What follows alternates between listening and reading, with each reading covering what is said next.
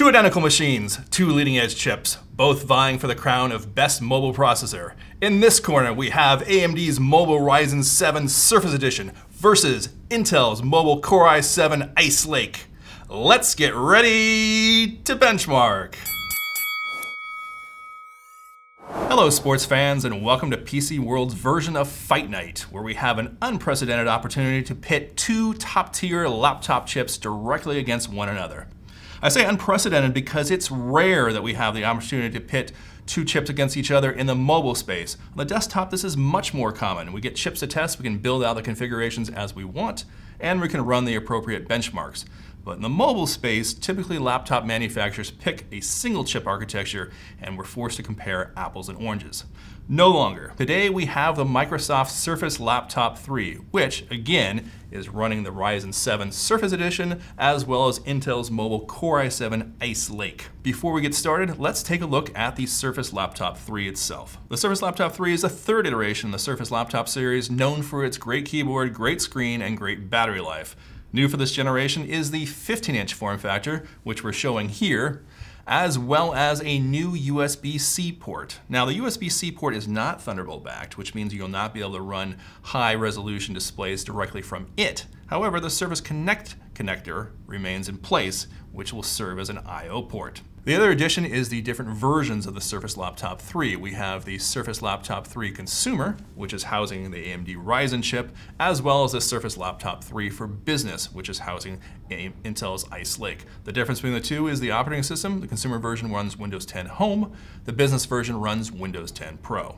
Now let's take a look at the challengers. In this corner, wearing the red trunks, is the rumbling Ryzen 7 3780U Surface Edition, a quad-core, 8-thread, 11 GPU core part running at a base clock of 2.3 gigahertz all the way up to 4 gigahertz. It's a 12 nanometer part, which we'll come back to later.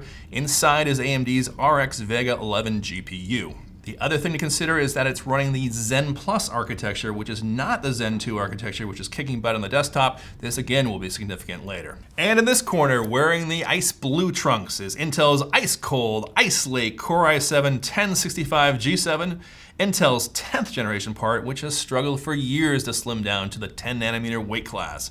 It's also a quad core 8 thread part, running at 1.3 gigahertz as a base clock on up to 3.9 gigahertz turbo with Intel's Iris Plus graphics inside. And for you conspiracy theorists out there, here's something to chew on. Intel sent us this part, not Microsoft. For our fight, we ran several benchmarks, ranging from simulated applications up to real-world tests. We start out with PC Mark 8 Work, which happens to be the simplest benchmark and measures office performance. Everything from uh, spreadsheet work through video calls to some light word processing as well. Now what you're seeing in our benchmark scores are two things. One, you're seeing the base performance of the individual chips, as well as what we consider to be performance mode. This was a little bit different in the fact that Microsoft and Intel sent us machines that were configured even while plugged in for its lowest power mode, perhaps to minimize the fan. We thought that was a little bit silly, and we wanted to see what it would do when we turn when we dial up the clock into performance mode, which is why you're seeing two different benchmarks for each machine. PC Mark Work, unfortunately, starts showing off what Intel's Ice Lake can do. Right now, we're seeing a 13% advantage for Ice Lake. We can go quickly into PC Mark 8 Creative, which basically dials up the GPU performance just a bit, looking at things like uh, video editing, for example, and photo manipulation, and even some light gaming. And again, we have, again, we have a 12% advantage to Ice Lake in this test as well. Now, one of the questions that I often have is, you know, what does this translate to in the real world? One of the tests that uh, PCMark tests in the creative mode is, for example, video editing. Um, in Ice Lake, um, it's going to take you uh, 120 seconds in PC Mark's creative mode. With the Ryzen chip, it took 148 seconds. So that's a 28 second differential. In PC Mark 10, which is a more modern benchmark, all these things are kind of smushed together and you get everything from application load to again, light gaming, uh, video editing, some 3D rendering and so forth. And again, 10% advantage to Ice Lake. Next, we turn to Cinebench, which is a benchmark that most people have been waiting for. It's a universal benchmark which is used both in mobile as well as the desktop up to servers and workstations, and it shows over a brief sprint how each core performs when put to the test. Here, it's more Ice Lake. Intel's got an 8% advantage. If Cinebench is a sprint, Handbrake is a marathon.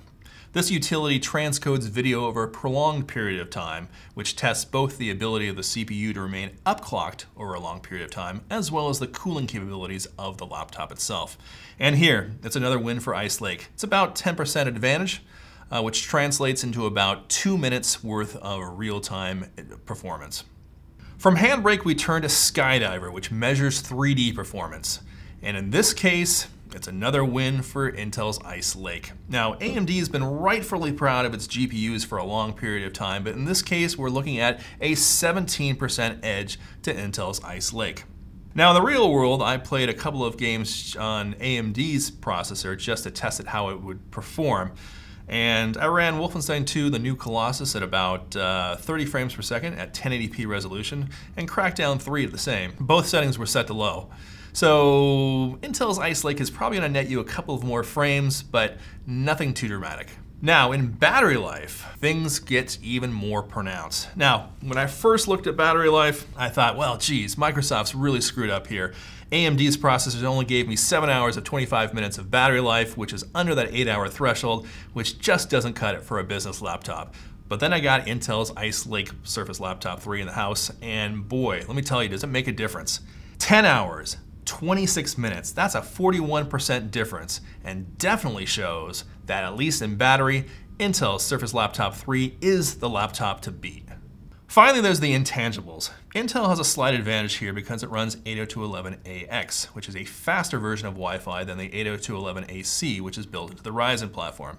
But AMD has a slight advantage in terms of fan noise. When I was testing both the Ryzen 5 and the Ryzen 7 versions of the Surface Laptop 3, the fan was, I don't want to say virtually non-existent, but didn't kick on very much at all. In fact, the Ryzen 5 really was about as close as you might think to a fanless machine. Now, Intel's Ice Lake machine was also uh, not too ubiquitous in terms of fan noise, but there was definitely more of a presence by the fan than uh, the AMD machine. All right, so we have to pick a winner. And I think that based upon our benchmarks as well as the battery life, it's clear the title belt stays with Intel's Ice Lake chip. Now, if you're AMD, you're gonna take this as motivation. So somewhere deep inside AMD's labs, they're gonna be training. They're gonna be going ahead and throwing combinations against sides of beef. They're gonna be running through the snow. They're gonna be carrying logs up mountains while people scream at it, come on, come on, slim down to seven nanometers. And that's what we're gonna see next year. We expect AMD's Mobile Ryzen to be at the seven nanometer process next year, which is going to give it an advantage. Is it gonna top Intel's Ice Lake? Well, we don't know, but what we can say for sure is that there's gonna be a rematch. So stay tuned.